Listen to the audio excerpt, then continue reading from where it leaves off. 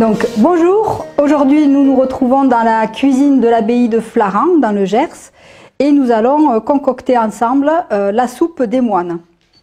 Donc cette soupe, euh, c'est une soupe qu'on a retrouvée dans un traité culinaire du 15e siècle, dans les années 1450, et qui devait se faire quand même depuis bien longtemps. C'est une soupe qui est assez simple. Et en fait, au Moyen Âge, on n'appelle pas ça soupe, on appelle ça potage.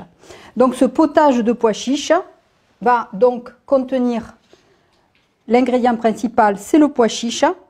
Donc avec deux verres de pois chiches, on fait euh, un potage pour 4 à 5 personnes. Elle va contenir aussi de la farine pour épaissir le potage, de l'huile d'olive pour amener un peu de gras, des épices, de la cannelle et du poivre, donc la cannelle, c'est vraiment l'épice phare du Moyen Âge. On en met dans tous les plats euh, que l'on veut épicer. Le poivre également, mais peut-être plus une épice plutôt languedocienne, plutôt sud-ouest. Et on va également agrémenter notre potage avec un petit bouquet garni du Jardin des Moines qui comprend une branche de romarin qui est ici, voilà. Et une branche euh, de sauge, très utilisée au Moyen Âge, et un gros bouquet de persil, qui est également très apprécié au Moyen Âge. Alors, je vais commencer par euh, préparer mon bouquet garni en le ficelant. On le mettra tout entier dans la marmite. Donc, vous faites, vous préparez en avance votre petit bouquet garni, voilà que l'on ficelle ensemble. Il va un peu se, déliter à la cuisson, mais c'est pas bien grave, ça fera un petit peu de couleur. Voilà, donc là on a notre bouquet garni. Alors, vous essayerez chez vous. Vous pouvez aussi utiliser le, persil euh, comme on a l'habitude de le faire, c'est-à-dire hacher les feuilles hachées en persillade. Mais quand vous utilisez le persil avec la queue, vous avez une autre, euh, une autre saveur qui va rentrer en fait dans votre plat. Donc vous, vous essayerez chez vous de faire des plats sans les queues et avec la queue. Vous, verrez qu'en bouquet euh, comme ça avec la queue, vous, vous obtenez une autre saveur qui est vraiment également très agréable. Alors, pour faire cette petite préparation, c'est assez simple. J'ai donc fait, euh, fait mis dans l'eau les pois chiches la veille pour gonfle. Donc vous voyez en fait la différence entre le pois chiche sec et le pois chiche qui a été euh, réhydraté. Donc là on a deux verres. Donc vous voyez qu'avec deux verres c'est vraiment euh, un ingrédient qui est euh, très, très avantageux parce que ça fait beaucoup, beaucoup, vite beaucoup de quantité. Voilà. Dans cette préparation, je vais rajouter 2 cuillères à soupe de farine que je saupoudre et 2 cuillères à soupe d'huile. Alors moi je préfère l'huile d'olive. Je trouve qu'avec les herbes qu'on va y mettre, c'est quand même euh, ça se marie vraiment bien. Donc une bonne huile d'olive, toujours travailler avec des bons produits de toute façon. Mais vous pouvez utiliser n'importe quelle huile que vous avez à la maison. Donc voilà, jusque là, tout se passe bien. Alors, on va rajouter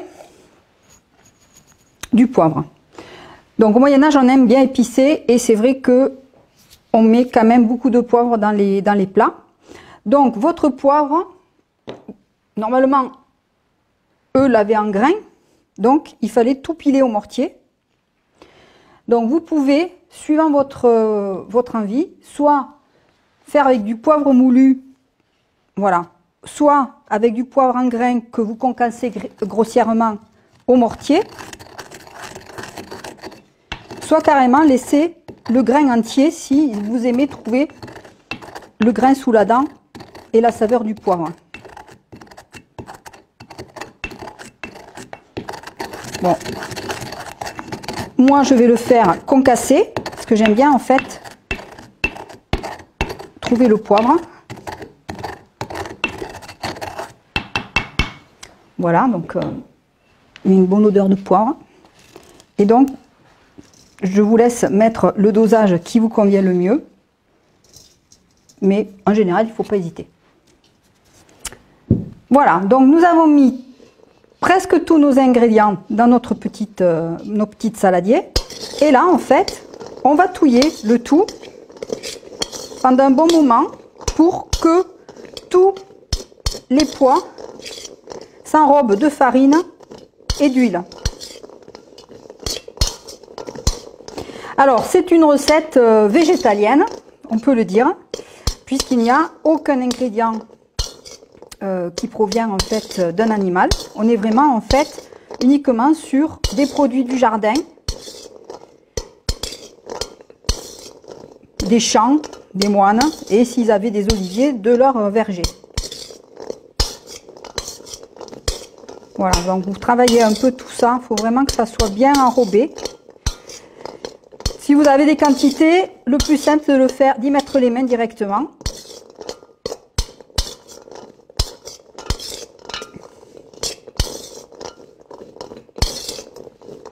Voilà. Et ensuite, donc, nous allons mettre à cuire.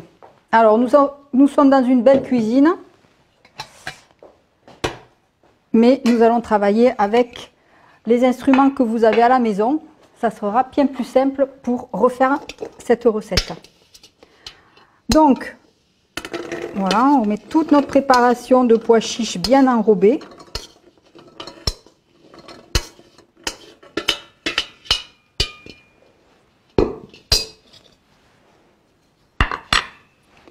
Alors, on va y mettre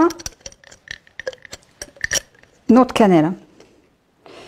Donc aujourd'hui, on travaille plus facilement en fait la cannelle en poudre. Donc vous pouvez y mettre de la cannelle en poudre. Ceci dit, pour la saveur du plat, travailler en cuisine salée, c'est quand même bien meilleur de travailler avec la cannelle en bâton que la cannelle en poudre. Donc je mets un bâton de cannelle dans ma préparation. Et puis, litre et demi d'eau.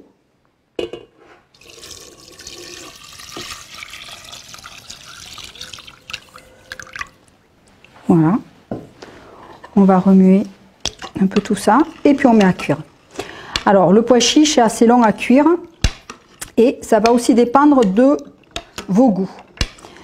Au Moyen Âge, il y a un peu tous les goûts pour euh, le pois chiche et les légumineuses.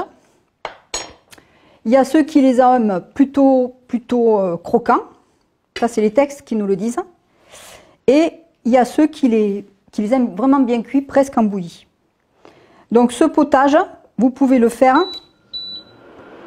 suivant vos goûts, plus ou moins cuit. Donc à ce moment-là, il faudra laisser plus de 3 heures. Ou plutôt craquant, à ce moment-là, entre 2 heures et 2 euh, heures et demie, vous devriez avoir votre potage qui est terminé de cuire. Donc, euh, le terme de potage au Moyen Âge, ça va euh, regrouper beaucoup de préparations très diverses. On peut avoir des potages très clairs, donc ce qu'on nous appellerait aujourd'hui une soupe, donc assez liquide avec euh, des aliments dedans, voire des aliments qui sont carrément en purée tellement ça a été cuit. On peut avoir des potages beaucoup plus consistants avec donc des aliments comme de la viande, du poisson, des légumes et autres légumineuses mais qui vont en fait euh, être cuits dans un bouillon que l'on va laisser réduire. Du coup, ça nous donne quelque chose que nous on appellerait aujourd'hui un ragoût, c'est-à-dire en fait des aliments euh, donc compacts avec un bouillon qui est plutôt en fait euh, plutôt réduit.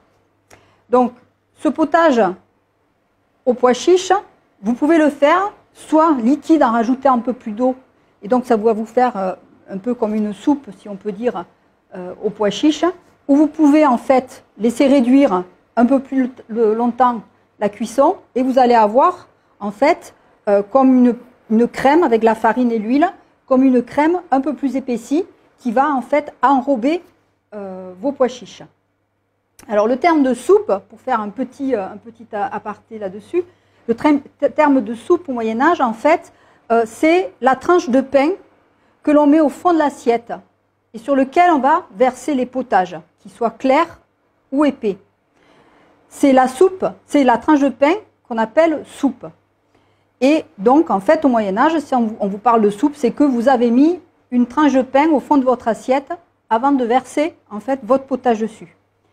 Et ce n'est qu'au XVIIIe siècle que petit à petit, le terme de la tranche de pain soupe va passer, en fait, au potage clair, qui va devenir la soupe, avec l'invention de la soupière, qui sera l'ustensile euh, euh, l'ustensile que l'on va acheter pour mettre la soupe dedans. Voilà. Donc ça, c'était la petite anecdote sur la soupe. Donc pour le Moyen Âge, on ne parlera que de potage. Sur les herbes aromatiques qu'on a euh, ficelées, donc le persil, qui est une aromate qui est très très appréciée au Moyen Âge, on en met vraiment dans beaucoup de plats. Le romarin est un peu moins utilisé, et la sauge est quand même euh, une, herbe qui est assez utilisée en cuisine. Voilà. Donc notre potage va cuire doucement pendant à peu près une heure. Au bout d'une heure, on va rajouter notre bouquet garni et on laissera finir la cuisson pour deux heures, deux heures et demie de plus. Voici notre potage qui a réduit.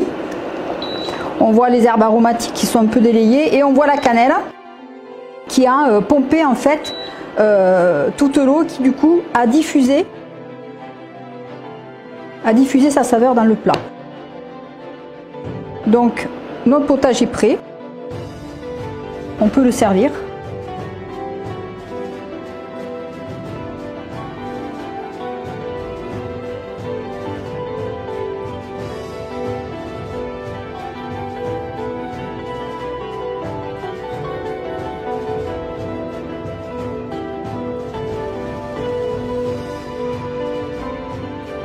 Donc si vous le souhaitez, vous pouvez mettre une soupe euh, euh, euh, au fond de l'assiette, ou de la gamelle, ou de l'écuelle.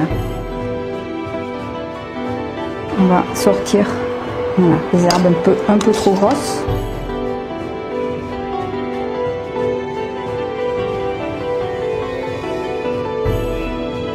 Un petit peu de jus.